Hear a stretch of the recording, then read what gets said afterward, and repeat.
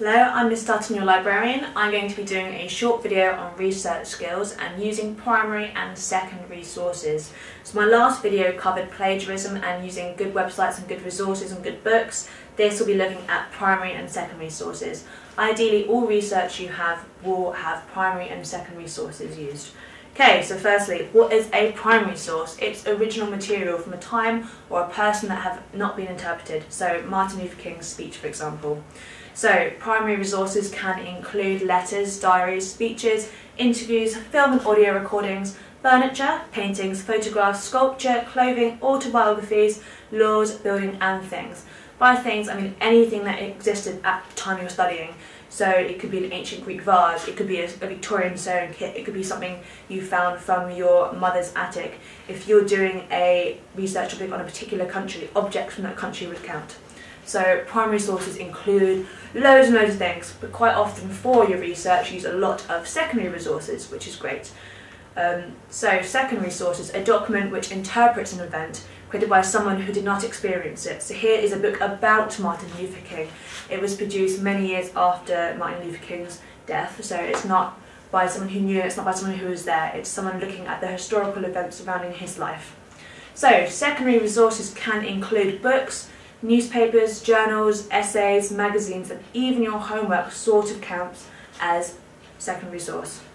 So, here's an example of primary and secondary. Primary would be Anne Frank's diary, including translations, copies that we've got in the library, for example.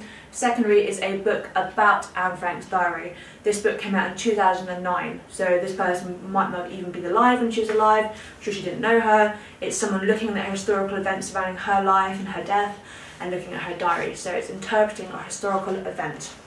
So here is a corset that is on display at the Victoria and Albert Museum, which is fantastic and free. And this is a book about underwear that the Victoria and Albert Museum have, so primary and secondary.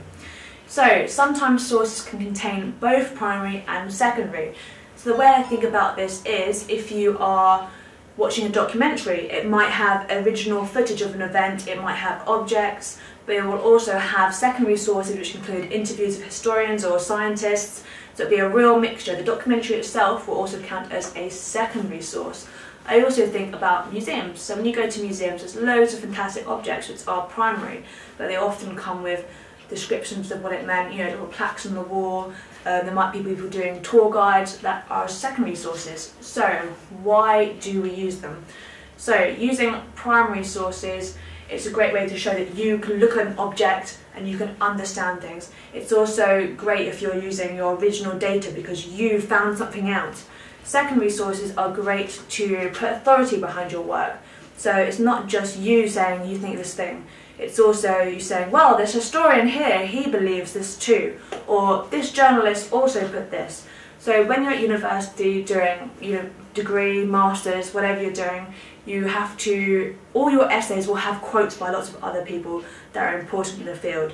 It's, there's nothing wrong with using other people's information, you're just using it to back up what you think or to guide you.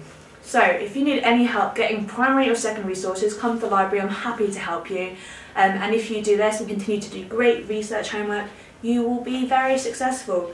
Yeah, okay, thank you.